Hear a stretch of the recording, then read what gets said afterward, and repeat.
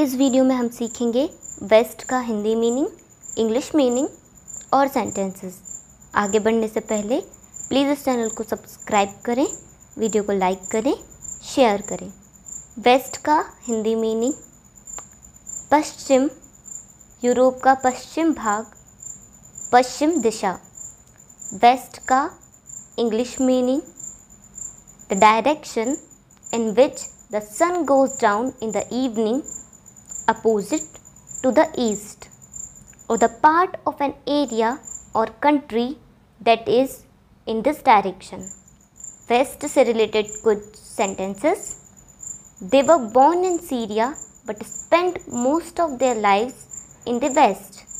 वे Syria में पैदा हुए थे लेकिन उन्होंने अपना अधिकांश जीवन पश्चिम में बिताया Most of the region will be dry tomorrow, but the west will have some rain.